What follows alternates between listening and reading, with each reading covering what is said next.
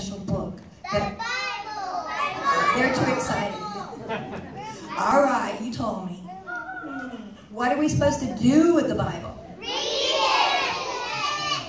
How often are we supposed to read it? That's right.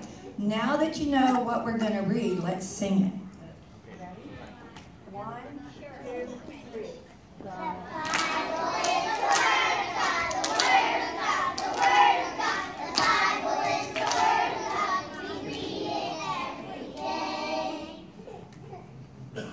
Great job.